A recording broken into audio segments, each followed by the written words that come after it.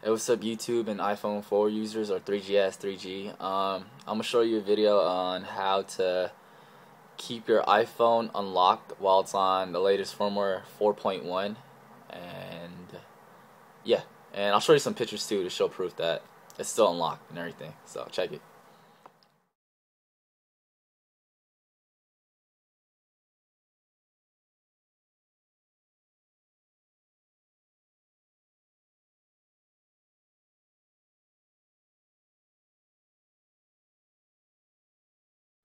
Alright, hey, what's up, guys? And well, first you gotta download Pwnage Tool 4.1, and here's the site that I got it from. Can you see that? OSX Daily. Yeah, I'm recording off the iPhone 4 right now. It might be a little bit shaky, but hopefully you can read it. And what you want to do after you click this link, scroll down, and then it'll show you two mirrors right here, or download links where you can download the Pwnage Tool. So just click one of them and it should lead you to download site or start downloading automatically right there. Right there. Okay? Because like from different sites it says you need like a torrent or use Pirate Bay to download the file but some people don't have it. But yeah, you can get it from here. Okay? Alright, so once you're finished downloading the Tool from that website I gave you, the Tool 4.1, you're gonna go to this site. Uh, see if you can see it. It's kind of bright. FelixBurns.de iPod slash firmware blah blah blah, and then you're just gonna scroll down, scroll down, and then you'll see this right here. It says download iOS 4.1 via direct. Then you're just gonna click it then it should start downloading automatically. But if not, you just go here, click that, and it'll show you a list. And make sure you download this one right here 8B117. And then, well, yeah, I clicked that link already, that was right here. And it's already downloading right there, you see? And then after that, Okay, let me show you after that. Alright, so after you download the Pwnage tool and the firmware from Felix Burn, you're going to open uh, Pwnage tool 4.1.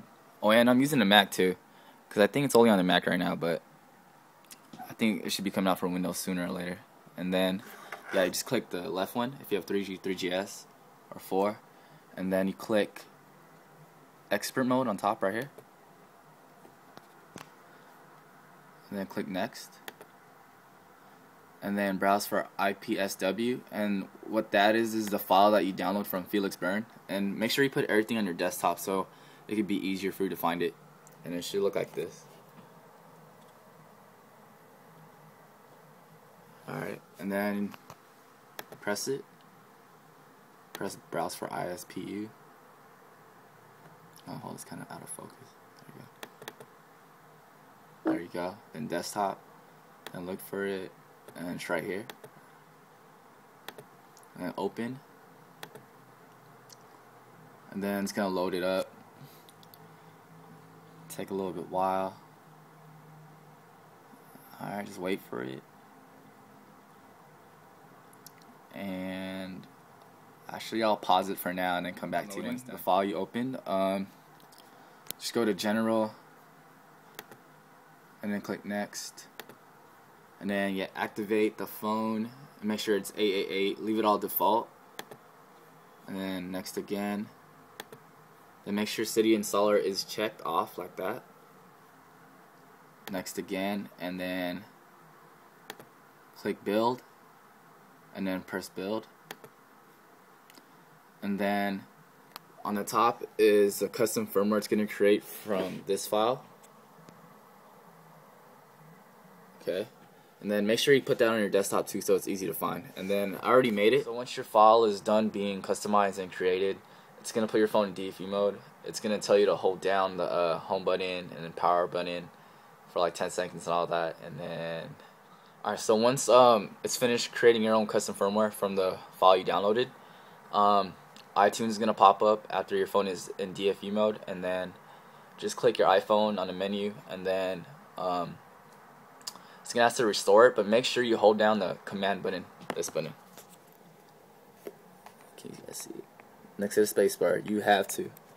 Alright, and then once you hold that hold that down while you click restore, it's gonna open up the menu and go to desktop, then click your custom firmware that you made from Pwnage Tool, and then it should be good to go. Like after that, uh, your phone's gonna be updated to 4.1, and there'll be Cydia installed, so you can just use Ultra Snow to unlock it, same way you did with the 4.0.1.